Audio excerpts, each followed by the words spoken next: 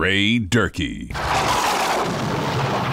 Sunday at the Memories.com. Okay, so this is pretty cool. My sister found this old VHS tape in the Sunday at the Memories archives, and using it, we're going to have our dad introduce the promo for the show coming up this Sunday. You got it.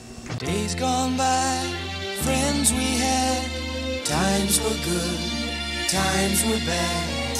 Friends and lovers and family, bring back those favorite memories.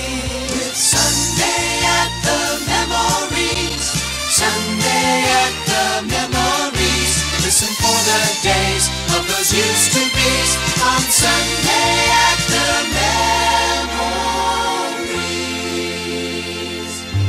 Hi, I'm Ray Durkee, and I'd like to tell you about this Sunday at the Memories. We're going to have radio mystery at its best. Theater of the Mind from Arch Oboler. It only takes about eight or nine minutes, but oh boy, your flesh is going to crawl.